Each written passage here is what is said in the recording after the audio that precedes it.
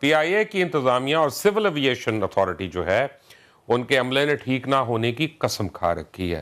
پی I اے کی workshops کا حال تو آپ کو میں بتاتا ہی رہتا ہوں کہ کس طرح وہاں بلال گنج کی طرح سے مرمت کی جاتی ہے یا اگر آپ پنڈی میں ہے تو سلطان کے کھو میں جا کے جیسا مرمت کی جاتی ہے۔ لیکن ایئرپورٹس بھی اب کسی لاری اڈے سے کم کا منظر نہیں پیش کرتے، جہاں جہاز آئے روز آپس میں ٹکراتے رہتے ہیں۔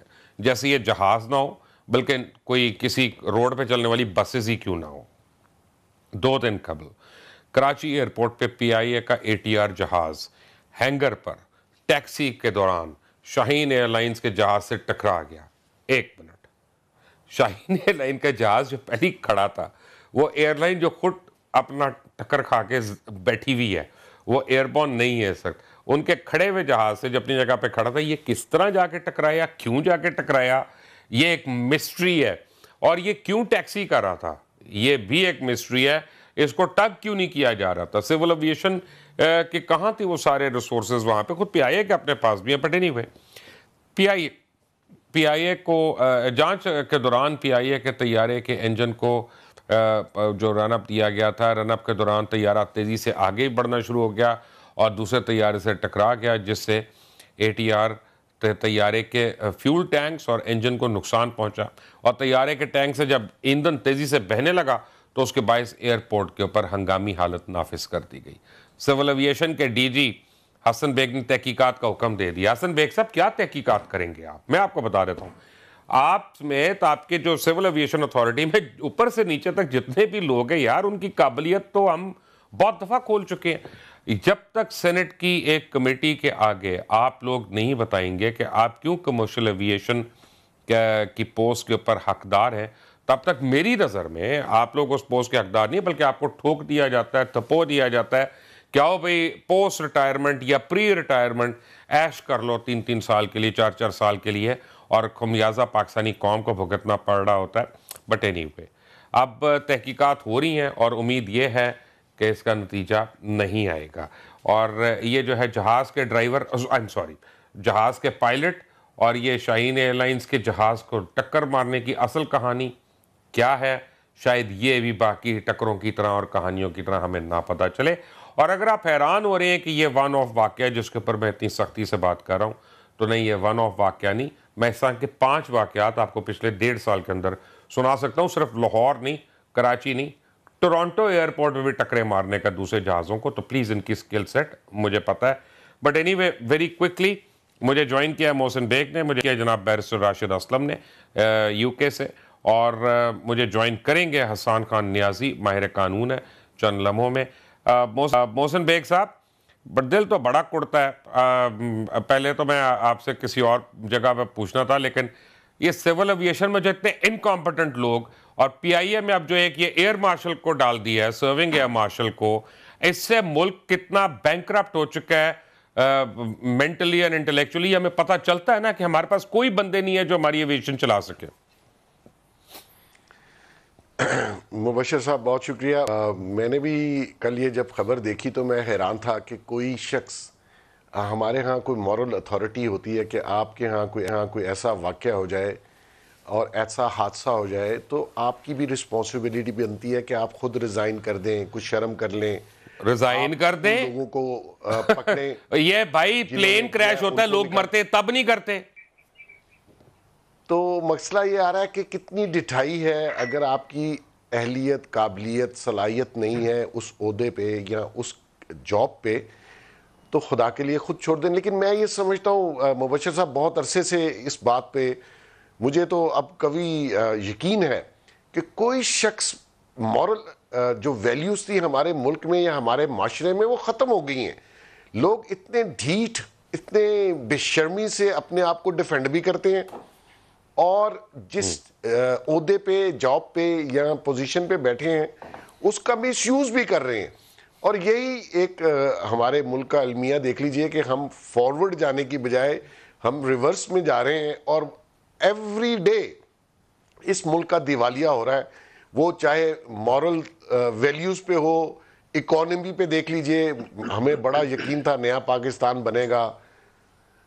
اس میں کچھ بہتری آئے گی۔ ابھی تک تو وہ بہتری نظر نہیں آئی۔ لوگ بھی چن چن کے ایسے لگا دیے گئے کس انفلوئنس میں آئے؟ اگر آپ نے بھی یہی کمپرومائزز کرنے تھے تو پھر پرانا ہی پاکستان ٹھیک تھا۔ اس میں بھی ایسے ہی واقعات روز ہو رہے تھے۔ تو مقصد یہ ہے کہ ان سے کوئی پوچھنے والا ہے۔ ڈیفنس منسٹر صاحب ہی کم سے کم آ کے تھوڑا سا اس کے اوپر یا ان کی ان کی پوچھ پرتیت کر لیتے کہ یہ واقعات یار اگر انہوں نے پوچھنا ہوتا تو پہلے ایئر مارشل ارشد کو لگایا کیوں تھا؟ ایک آدمی کو جو سرونگ ہے مارشل ہے اس کو ایئر فورس سے نکال کے یہاں پہ ڈپٹیشن پہ کیوں بھیج دیا یار؟ کون سے سرخاب کے پر لگے ہوئے تھے اس میں؟ کون سی ایسی چیز پتا ہے ان کو ایویشن کی کہ جو باہر کسی کو بھی نہیں پتا کون سا ایسا کام کیا ہے؟ ان لوگوں نے ایئر صلاحیت کیا ہے میں ان کو نہیں جانتا لیکن مسئلہ یہ ہے کہ اگر ان کو لگا دیا تو ابھی ان حادثات کے ہوتے ہوئے ان سے پوچھنا تو چاہیے کہ آپ کیا کرنے آئے تھے؟ وہ نہیں جواب دیں گے۔ جواب دیں۔ کبھی بھی جواب نہیں دیں گے۔ وہ جواب دینے کا قابل ہی نہیں سمجھتے آپ کو اور ہمیں۔ وہ جواب پھر میرا خیال ہے ڈیفنس منسٹر صاحب کو ہی جواب چھوڑ دینی چاہیے۔ اگر وہ اپنے میرا خیال ہے ان سب کو جواب چھوڑنی چاہیے۔ سیول ایویشن میں تو کوئی شخص مجھے نہیں نظر آتا۔ اور اگر ہے تو مجھے صاحب ایک دن ایک نہ ایک دن اس ملک نے ٹھیک ہونا ہے۔ اور ایسے لوگوں سے جان چھوٹنی ہے جو صرف اور صرف اپنے مال بنانے کے لیے یا جاب کرنے کے لیے غلط جگہ پہ بیٹھ جاتے ہیں ان کو کسی نہ کسی نے تو ہٹانا ہے۔ یہ ملک میں کریکشن آنی ہے اس ملک میں ٹھیک ہونا ہے اس ملک نے آگے جانا ہے۔ تو اس کے لیے کسی کو سٹیپ اٹھانا پڑے گا۔ ہم نے تو نئے پاکستان میں نہیں تو مجھے یہ بتائیں نا اگر کیسے کیسے ٹھیک ہوگا؟ اگر آپ نحال ہاشمی دانیال عزیز یا تلال چودھری اگر کوئی بات کرتے ہیں تو ان کو تو سزا مل جاتی ہے۔ وہ جیل میں بھی چلے جاتے ہیں۔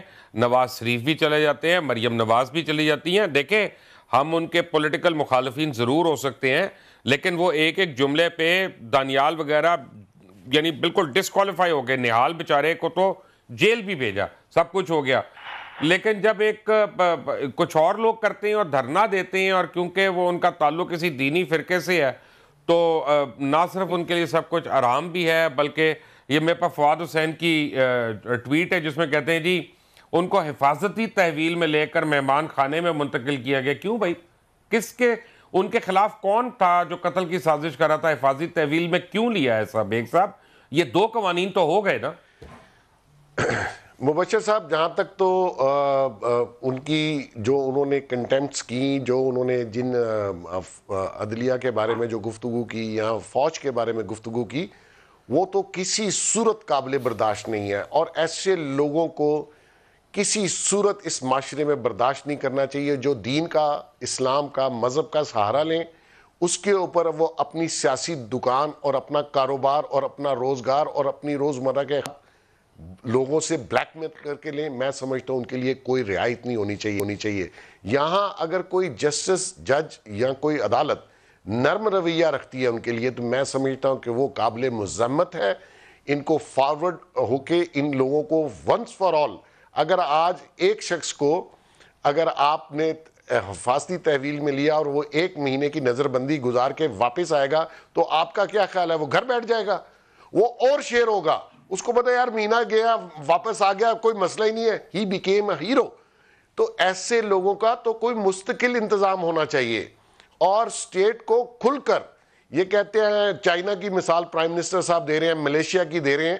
چائنا میں ایسا کوئی سٹیٹ کو چیلنج کر کے دکھائے۔ اس کے لیے آپ کو لا میں ریفارمز لانی ہے کوئی روڈ میجر روڈ بلاک کرے، اس کے لیے سزا پارلیمنٹ تجویز کرے۔ کوئی شخص اس قسم کی گفتگو، اس کے لیے آرٹیکل سکس بھی موجود ہے۔ اینٹی ٹیرورسٹ لا بھی موجود۔ لیکن اگر آپ اس کو امپلیمائی نہیں کریں گے، اس کو استعمال ہی نہیں کریں گے ان لاس کو، تو پھر ان کے بنانے کا یا ان کے، وہ تو پھر ایک عام سادہ آدمی پہ ایک سیولین لوگ اگر اپنا پوائنٹ آف ویو جو کہ ڈیفرنٹ ہوتا ہے وہ بیان کرتے ہیں تو کورٹ کی عزت مجرو ہو جاتی ہے اور میں بھی کورٹ کنٹیمپٹ آف کورٹ بھگت چکا ہوا ہوں۔ تو ایسے حالات میں جو ایسے لوگ ہیں، ان سے تو آپ کے پر جلتے ہیں، ان کو تو آپ بلاتے تک نہیں ہیں۔ وہ آبدی صاحب بھی جیل میں ہیں۔ اس بیچارے نے کون سا گناہ کر لیا؟ اس نے تو کوئی ایسا گناہ نہیں کیا جو سٹیٹ کے خلاف ہو۔ آپ نے اس کو سزا دی، اس کی بیل نہیں ہونے دے رہے۔ مقصد یہ ہے کہ ایک جگہ تو آپ ایسی بات کرتے ہیں اور جہاں آپ کا زور نہیں چلتا، وہ شخص آ کے گالیاں بھی دیتا ہے۔ پورے پاکستان کو ہاسٹیج بنایا ہوا تھا اس نے۔ تو مقصد یہ ہے کہ ہمیں بھی سوچنا چاہیے کہ ہمارے کریکٹر میں کہاں فلاز ہیں اس کو بہتر کیجیے اور لا جو ہے وہ سب کے اوپر ایکولی امپلیمنٹ ہو۔ اگر یہ ریاست یہ کام نہیں کر سکتی تو پھر یہ ریاست کے رہنے کا مقصد ختم ہو جائے گا۔ پھر ایسے لوگ Law کی اگر بات تو ایسے لوگ سامنے آ جاتے ہیں تو اس میں مبشر صاحب سیول وار کا خطرہ ہے۔ لاسٹ ٹائم دھرنے میں پولیس غائب ہوگی۔ اللہ رحم کرے۔ جب پولیس غائب ہوگی تو اس کا مطلب ہے کہ ہم اور عوام اور وہ لوگ آمنے سامنے آ گئے تو اس یہ سیول وار ہے۔ پولیس جو ہے بفر کریٹ کرتی ہے کہ دو لوگ لڑے نا تو مقصد